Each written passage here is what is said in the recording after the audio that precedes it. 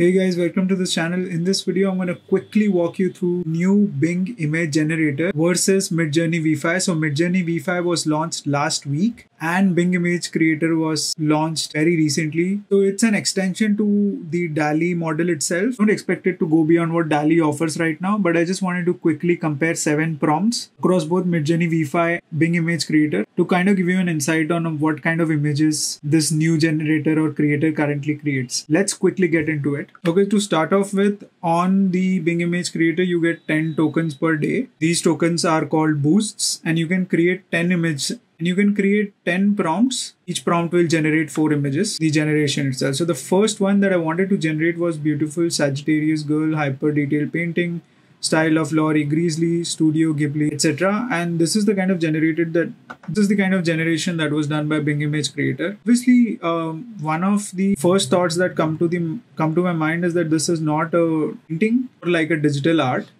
while you look at the image generated by uh, Midjourney V5, clearly see that image has components of paintings better than the one generated by the Bing image creator. This generation does not even match the prompt description. This one looks great. Still does not clearly justify the prompt compared to these ones. Next, I tried Hellcat diving across the beach in the sunset. This is the generation that was done by Bing Image Creator versus if you look at the generation of V5 generations look good when I meant when I said Hellcat, I I meant a plane that was diving. Generations of the uh, image creator gave me four variations for a car, while Midjourney went ahead and gave me suggestions for both car and a plane. Third, I tried generating technology brain with storm and lighting, and before I comment on this one, for both the previous generations, Midjourney has done a better job for this one, uh, technology brain with storm lightning 3D render dark background, hyper realistic, right? So remember the keywords are important uh, here that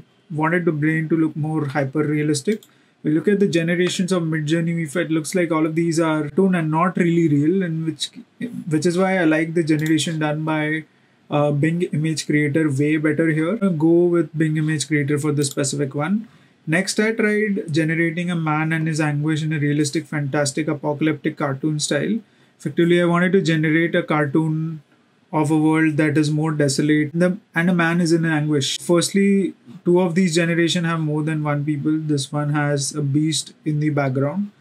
This one looks like a painting that is uh, terribly upset, not happy about something, right? So look at the generations done by Midjourney, you can see clearly that there are there is one person in all of these portraits, and there is clear anguish on the face of the man. And hence, I'm gonna go with Midjourney for this one. So far, we can see that three points with uh, Midjourney and one point for the Bing Image Creator. Next, I tried generating Pikachu doing deadlifts and getting soul at gym luxury gym Portra 400 gym shot. Clearly, uh, my goal was to show Pikachu swole, which in either of these case I don't see. I can see this Pikachu doing deadlift, but none of these the version of Pikachu where they are ripped. While if you look at this generation, right, so clearly the focus is more on working out, and this generation looks way more better than the one generated by Bing Image Creator. Next, we'll look at uh, this is the sixth one, and so far four for Midjourney and one for Bing. We wanted to generate a tabby cat in Apex Legend style, highly detailed digital painting, ArtStation concept art, etc. And I think these are good generations overall. But obviously, I wanted to generate like a cartoon character, not a cat, which this seems more aligned. You can see, uh, you can see that the person who has a cat, who has cat ears and kind of is more on the lines of a game character compared to this, which is actually a cat. Finally, I tried generating an astronaut resting on Mars in a beach chair. And overall, these are good generations. I clearly wanted to see vibrant lighting, vibrant lighting, elegant, highly detailed. If you look at Midjourney generations, the lighting is not great to start off with. While the generations look way better than the ones generated here, I think I'm gonna go with this one for the specific case. So, so overall, I think Bing Image Creator has two points versus five of Midjourney V5.